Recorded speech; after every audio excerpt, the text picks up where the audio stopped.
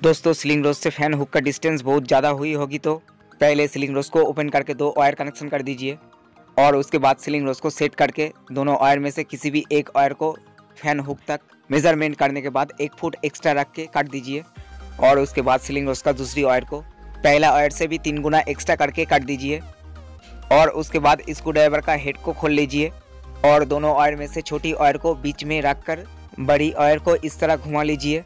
इस तरह आप बड़ी ऑयर को एक फुट एक्स्ट्रा रख के घुमा लीजिए और उसके बाद इस घुमाने ऑयर को थोड़ा सा उल्टी घुमाकर थोड़ा लूज कर लीजिए